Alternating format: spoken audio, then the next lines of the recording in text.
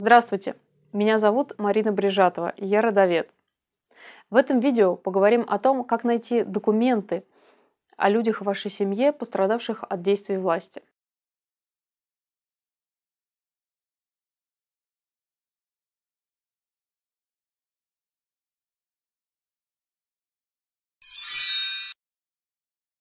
Интернированные, репрессированные, перемещенные лица, осужденные, раскулаченные. Ужасное количество преимущественно иностранных терминов. Объединяющее начало всем понятно. Это, как я уже сказала, лица, пострадавшие от действий власти, своей или другого государства, если это было в период военных действий. Разберемся с каждым.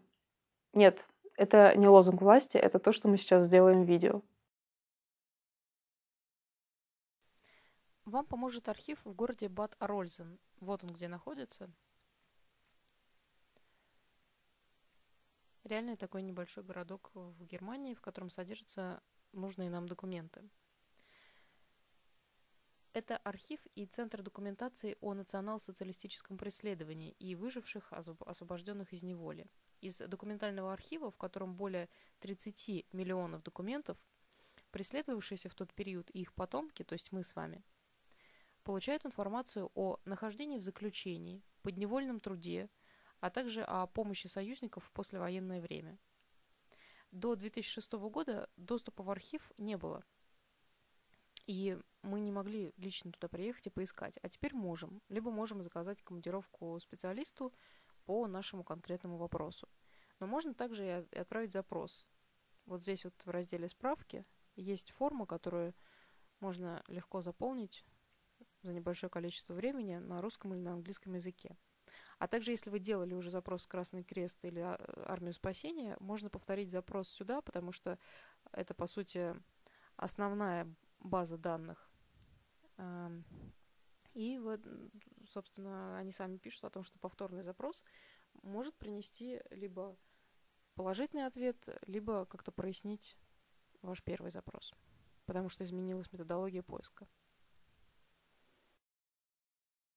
Для начала поиска в процессе разговоров с семьей уточните фамилия, имя, отчество, год рождения и место жительства на момент репрессии.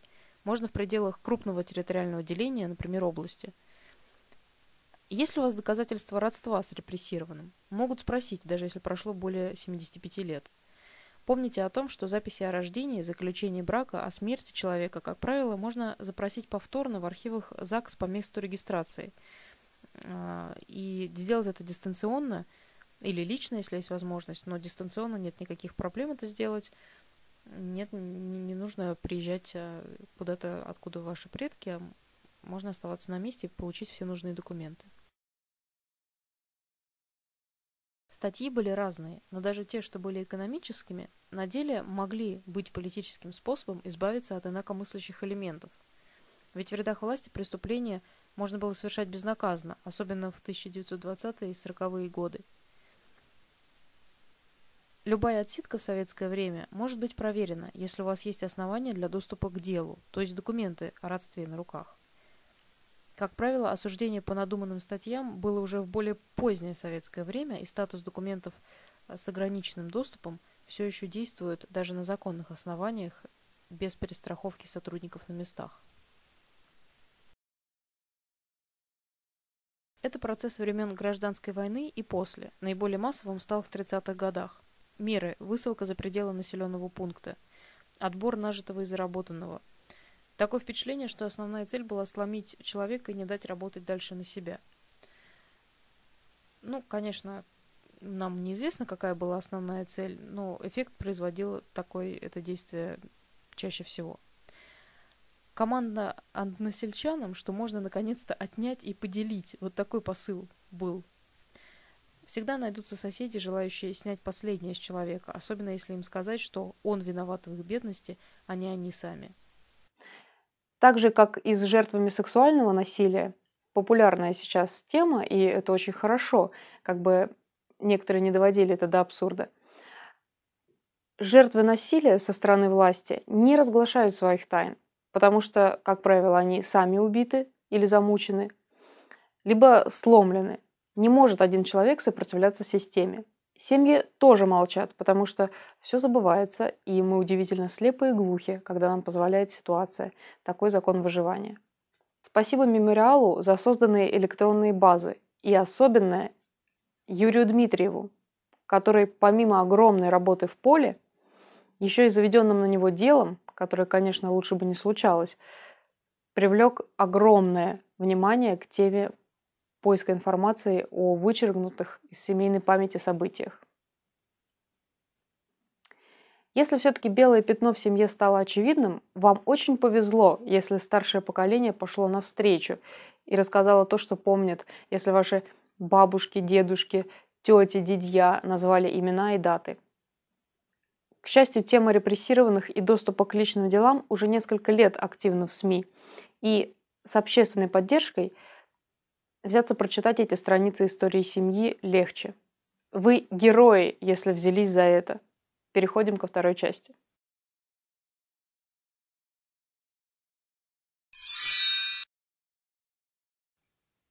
Общий совет. Пишите везде. Ну правда, вы думаете, что отписка занимает много времени у чиновников? Вам жалко лишнего конверта или строчки в электронном виде? И все же, кому в каких случаях писать? Хватит тут бесполезные советы раздавать, скажете вы.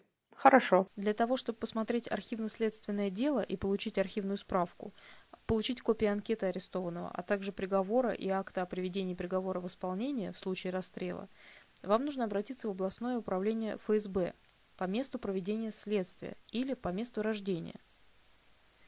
Еще в своем обращении попросите выслать архивное дело в архив ФСБ по месту вашего жительства для ознакомления в читальном зале архива.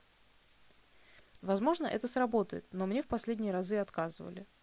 Форма обращения у меня есть. Напишите, если интересно, я скину. Но в принципе не стоит придавать этому много значения. Вы имеете право писать и в свободной форме, без шапки, соблюдения определенных полей и так далее. Просто пишите четко и по делу и ставьте свою живую подпись. Отправляйте заказным обычным письмом, так точно будете знать, что оно дошло.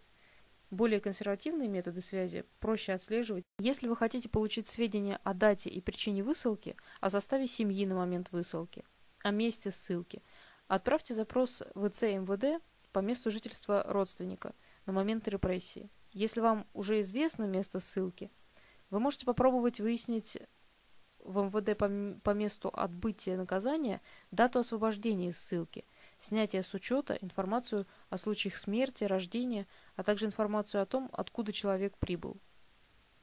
Могут запросить подтверждение родства в случае положительного результата. Государственный областной архив по месту раскулачивания.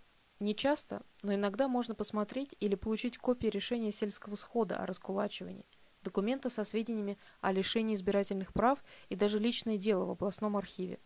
Доказательства родства, как правило, не требуются – Социальные запросы выполняются бесплатно, и инструкции есть на, большин... на сайтах большинства архивов.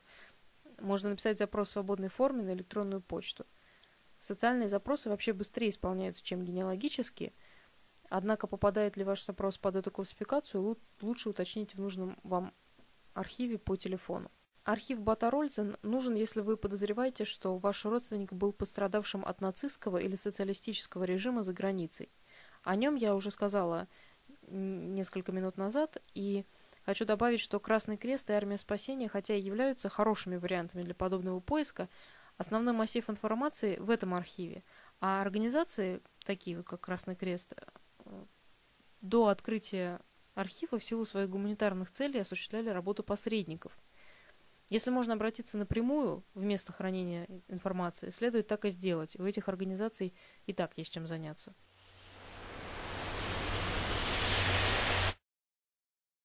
Когда вам кажется, что политика вас не касается, взгляните на свою семью открытыми глазами, на ее историю.